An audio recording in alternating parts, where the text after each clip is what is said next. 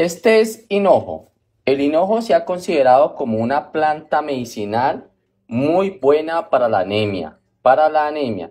Vamos a hacer un vino antianémico para aquellas personas que tienen esta enfermedad. Las personas que tienen sido diagnosticadas con anemia.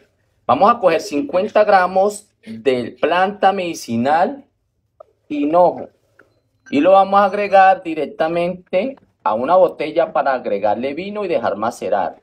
Vamos a agregar entonces 50 gramos, esta cantidad, esta cantidad aproximadamente de hinojo a nuestra botella. Vamos a agregarlo.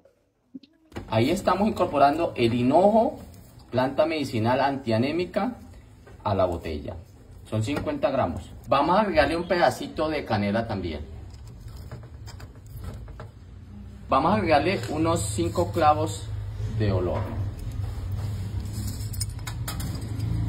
Vamos a agregarle nuestro vino blanco, una botella de vino blanco, un litro aproximadamente de vino blanco.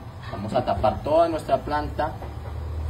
Vamos a tapar y dejar macerar durante 10 días. A los 10 días ya podemos tomar una copa en la mañana, una copa en la tarde para las personas que tienen anemia. Si es posible hacerse otra botella y seguir tomando hasta recuperarse de esta enfermedad.